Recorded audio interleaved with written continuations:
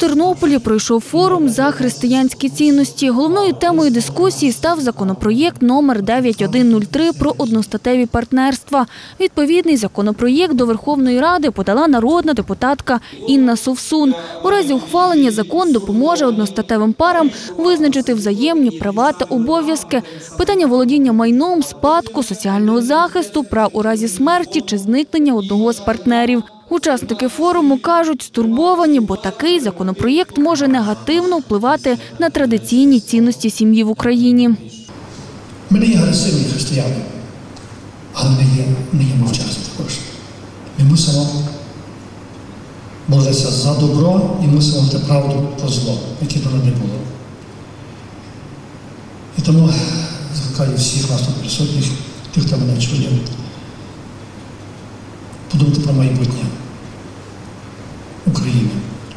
За словами голови Тернопільської обласної ради Михайла Головка, подання законопроєкту про одностатеві партнерства сприймається як агресивна спроба знищити концепцію сім'ї і її бачення в Україні.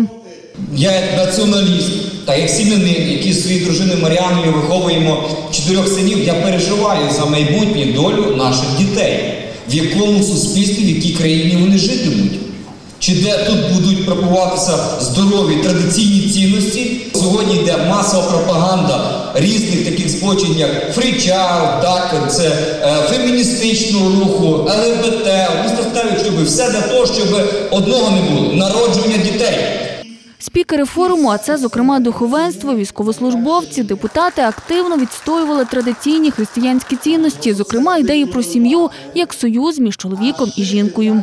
Оці тренди ЛГБТ це все фікція, яка нав'язується, не знаю, 0,00,1 людей, які десь є в медіа. Тому що за рік часу в зоні бойових дій, починаючи від Лузової, Барвінково, Ізюм, Лиман, ми пройшли бої разом з 49-м окремим стрілецьким батальйоном, бійці 25-ї бригади, 93-я бригада, 30-та бригада.